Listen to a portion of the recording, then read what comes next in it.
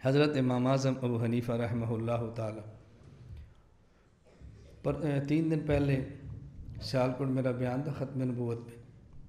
उसका उनवान तो ये नहीं था, लेकिन मैंने इतनी एक बात की कि वहाँ मसला चल रहा था ख़त्म नबूत का।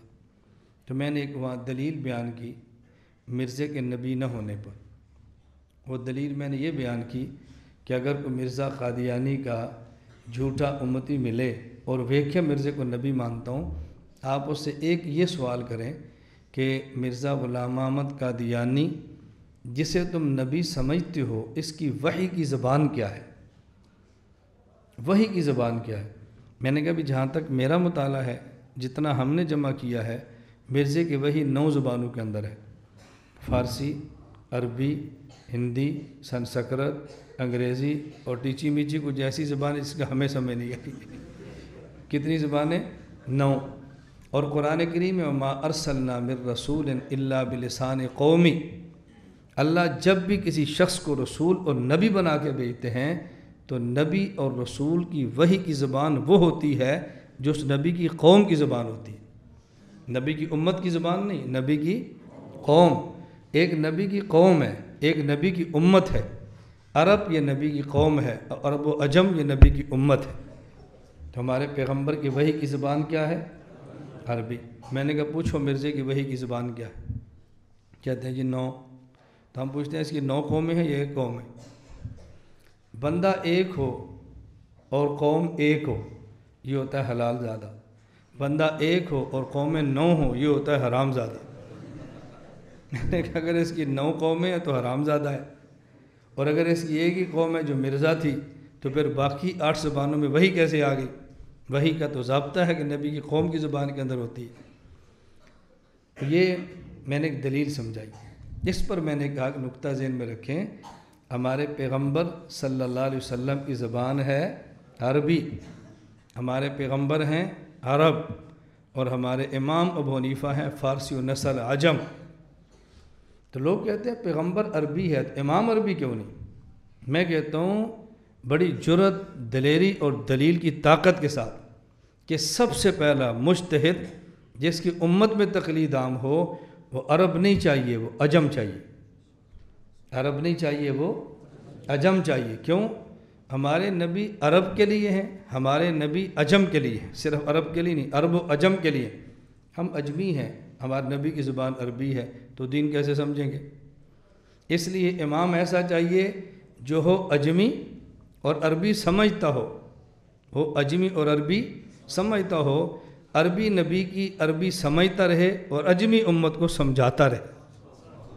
तो इमाम तो चाहिए अजमी, और हम शर्मिंदा होते हो जी, हमारा इमाम अजमी क्यों है?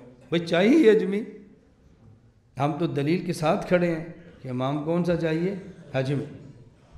फिर मैंने वहाँ ने कहा वो जी, तुम्हारा इमाम कहाँ? मैंने कहा, कोफा। मक्का, मदीना क्यों नहीं? हमने कहा, इमाम होना ही कोफा में चाहिए। क्यों? मक्का अरब में है, मदीना अरब में है और कोफा अरब ख़त्म होता है, अजम शुरू होता है, अरब अजम के संगम पे है। इमाम ऐसी जगह पे चाहिए, इधर से ले, इधर दे। अरब से ले, अजम को दे। वो संगम पर होना चाहिए, ना अरब में हो, ना अजम में हो, संगम पर हो। और संगम पर सबसे पहला मुश्तद इमाम आज़म अबू हनीफ़ा है। और ये संगम भी ऐसा जो इमाम साहब ने ख़ुद नहीं बनाया अमीर उलमोमिन हज़रत उमर ने बनाया। अमीर उमर ने बनाया है। संगम वो बना गए हैं, खड़ा इमाम हनीफ़ा हो गया है और आज पूरी दुनिया को शराब करके रख दी। मैंने इसलिए गुजारिश की कि हम अंधे मुखलद नहीं हैं। हमारी बेहतरीन आँखें हैं और अल्लाह का शुक्र है कि अभी तक तो चश्मा भी नहीं लगा। अल्लाह आइंदा भी महफूज रखे, अल्लाह का बहुत करम है। तो आप अंधे मुखलद हैं या देखने वाले? देखभाल के मुखलद हैं। अल्लाह का बहुत बड़ा करम, अल्लाह का बहुत बड़ा शुक्र है। बस हम मुखलद हैं क्यों? हमारे पास दलील नहीं है। इमाम साहब की दलील समझ लेते हैं। इश्तहाद नहीं कर सकते मुश्तद की बात को समझ लेते हैं।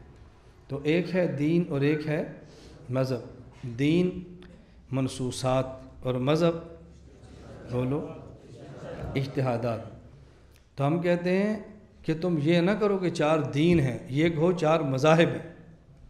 आज तक आप में से किसी शख्स ने दुनिया की किसी किताब में नहीं पढ़ा होगा। ये मैं तहदी और चैलेंज के साथ कहता हूँ, अहल हक़ की किताब में कि दीन चार हैं, दीन अबू हनीफ़ा, दीन मालिक, दीन शाफ़ी, दीन अहमद, कभी नहीं पढ़ेंगे। दीन एक है, मज़ाहब चार हैं, मज़हब अबू हनीफ़ा, मज़हब मालिक, मज़हब शाफ़ी, मज़हब अहमद। तो ये झूठ मत बोलो कि हम दीन वाले हैं और हनफी दीन के एक जुज़ वाले हैं। हम कुल का कुल दीन लेते हैं और मज़हब भी लेते हैं, दीन भी लेते हैं। मज़हब भी लेते हैं और दीन और मज़हब फ़र्क समझ आ गया। मैं इसलिए कहता हूँ, ये बातें अच्छी तरह समझा करो और फिर समझो, समझ के फिर आगे समझाओ। आप सीना तान के चलोगे, आपका दिल करेगा कि मुझे बंदा मिले और मैं उसको समझाऊँ। और आप मरकज़ के मराहल से ना गुजरे ना तो आप डरोगे कि मुझे मिल ना जाए, कि मुझसे पूछ ना ले, मेरा क्या बनेगा? और यहाँ क्या मराहल से गुजर जाएँ तो आप कहेंगे, कोई मिले और मैं समझाऊँ।